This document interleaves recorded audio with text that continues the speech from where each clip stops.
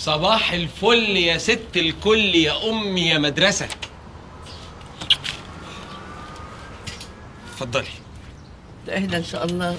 ده ورد ليكي يا أحلى قصرية زرع في حياتي. قصرية في عينك يا قليل الادب ورده عشاني أنا؟ أكيد حاطط لي جوه عقربة. من إمتى يا أخويا؟ من النهارده. أنت عارفه أنا بحبك قد إيه يا امي يا مدرسة؟ أقول لك إيه؟ هات من الآخر. قصر قول. إيه ده؟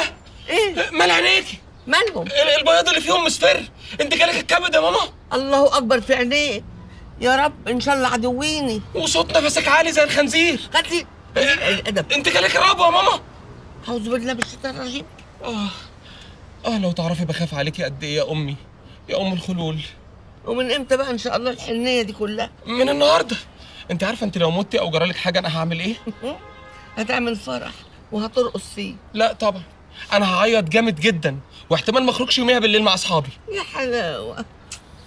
طب ماما ممكن عشان أنا ابقى مطمن اقترح عليكي حاجة وما تكرريش غير لما تفكري كويس؟ اتفضل. مامي تحبي تروحي دار مسنين؟ استنى أسود! يا منير توديني بيت مسنين يا واطي! اجري. يا واطي يا ابن الر- وانت كمان! اجري، اجري، اجري. طب استنى عليا! شايفني اتجننت؟ بقطع في هدومي. إيه ما وريتك استنى عليا أنت والحيوان اللي معاك ده.